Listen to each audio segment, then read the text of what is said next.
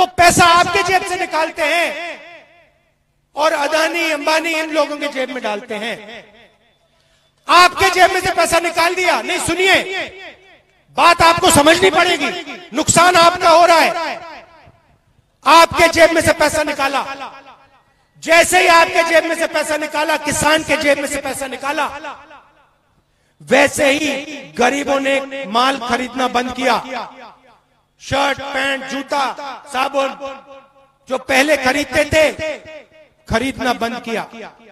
जैसे ही हिंदुस्तान के गरीब लोगों ने माल खरीदना बंद किया, वैसे ही फैक्ट्रियों ने माल बनाना बंद किया। जैसे ही फैक्ट्रियों ने माल बनाना बंद किया, वैसे ही बेरोजगारी शुरू हो गई। और आज 45 साल से सबसे ज़्यादा बेरोजगारी हिंदुस्तान में है, नरेंद्र मोदी का काम। मैं आपको बता रहा हूँ, पंद्रह मिनट का काम है। अगर सरकार एक बार फिर अमीर लोग, उद्योगपति, अरबपति के लोग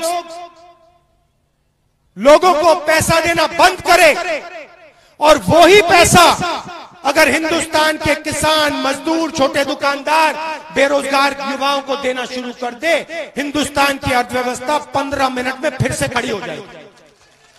मगर नहीं, नरेंद्र मोदी डरा हुआ हिंदुस्तान चाहता है।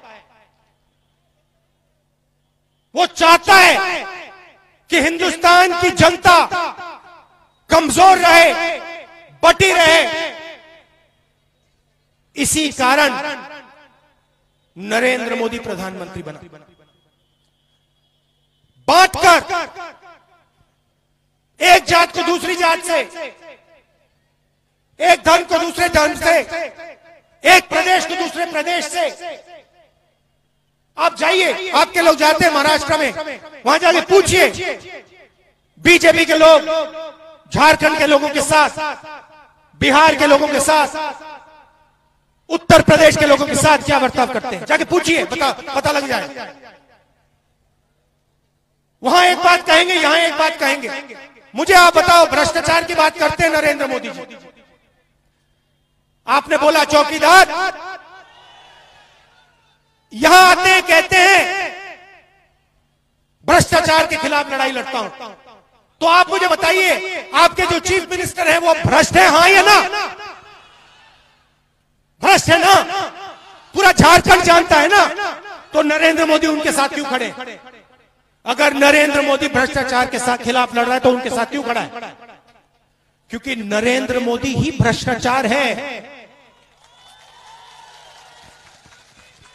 नरेंद्र मोदी स्वयं भ्रष्टाचार का सबसे बड़ा चिन्ह है। और नरेंद्र मोदी इन्हीं पंद्रह बीस लोगों को आपका पूरा का पूरा धन पकड़ा रहा है। यहाँ चुनाव होने के बाद गठबंधन की सरकार बनेगी। और जो आपका धन है, झारखंड झारखंड गरीब नहीं है। झारखंड की जनता गरीब है। ये आप मत सोचिए कि झारखंड गरीब प्रदेश है, ना।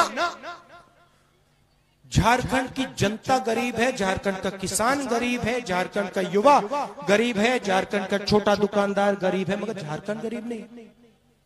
झारखंड में पैसे की कोई कमी नहीं। बस आपके हाथ नहीं पड़ रहा और गठबंधन की सरकार बनने के एकदम बाद वो पैसा आपके हाथ पड़ना शुरू हो जाएगा। आपके स्वास्थ्य में, अस्पताल बनाने में शिक्षा कॉलेज, स्कूल, यूनिवर्सिटी बनाने में, किसानों को सही दाम दिलवाने में, किसानों का कर्जा माफ़ करवाने में आपका पैसा जाएगा। और जैसे ही आपके हाथ में पैसा आएगा, आप माल खरीदना शुरू करोगे। झारखंड की अर्थव्यवस्था छत्तीसगढ़ जैसे एकदम खड़ी हो जाएगी, तेज़ी से प्रदेश आगे बढ़ना शुरू आप सब दूर दूर से आए। हेमंत सोरेन जी, आप सबका मैं धन्यवाद करता हूँ, दिल से धन्यवाद करता हूँ। और मिलकर एक साथ होकर झारखंड का किसान, झारखंड का मजदूर, झारखंड के छोटे दुकानदार, युवा, माताएँ, बहनें, सब एक होकर ये 10-15 उद्योगपति की उद्योगपतियों की सरकार को हम यहाँ से हटाएँगे और गरीबों की, कमज़ोर लोगों की सरकार लाएँगे। आप सबका दिल से बहुत बहुत धन्यवाद। बहुत बहुत धन्यवाद। नमस्कार। जय हिंद।